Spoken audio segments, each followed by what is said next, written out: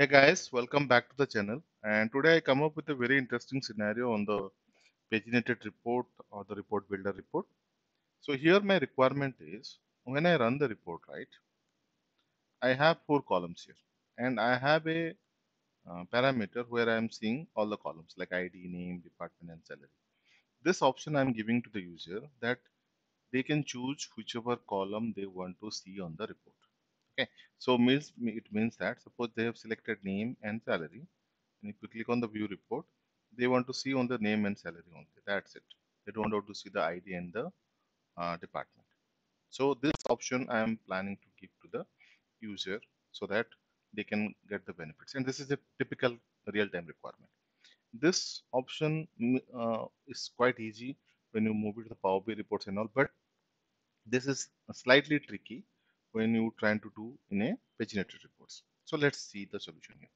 So for the solution, what I know, we'll use a function called array dot index of. So that will give you the index number of each whatever you're selecting. Okay. So for that, I need to first create, just follow the steps. So I'm saying I need to create the column groups on advanced mode so that I can get each and every item. Okay, so this is my ID, this is my name, this is my department, and this is my salary so that each column I can provide a hidden statement for that based on what condition. So first select the ID from the column group. Then we have a property called hidden. Okay. So instead of writing false and true, I'll go for an expression here. Okay. So before jumping into that, I have created a parameter here. Just I want to show you the parameter here. So this is basically a uh, normal parameter, or multiple value parameter in the available values I have an ID, name, department and salary.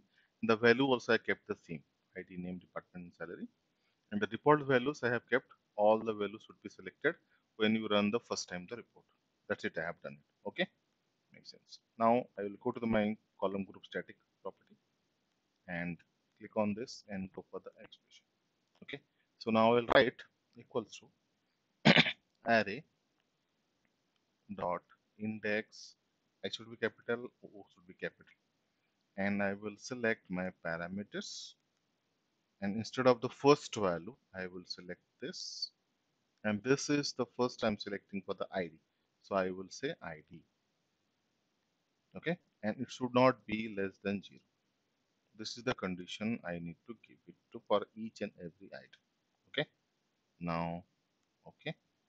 Expression is done. Now let's go to the name property hidden go for expression release it step it and instead of changing here id i will say name. And you make sure the case sensitivity here. Whatever you written on the parameter you should do it. So first is done. Second is done. Go for the third. So now i will say expression here. And i will copy paste again. Sorry i'm taking copy paste way but you can write your own. So department less than 0 the last one is my expression and I will say salary. Right salary. Salary okay. All right now I have done it. Now let's see run the report and see the output the magic. Hopefully everything should work. Now uh, when you start up the report everything will be selected.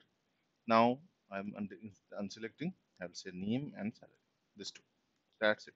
And click on the view report. See I have the magic now name and salary is coming rather than other reports. So if I say name department and salary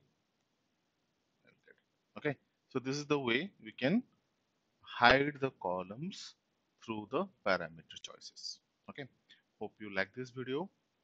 Please please please do subscribe to the channel for more interesting content like this.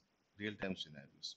And from the monday as i Uh, declared on the last video also.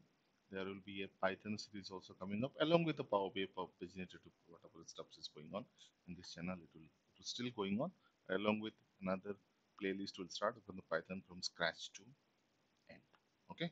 So please do subscribe again and thanks for watching and have a nice day guys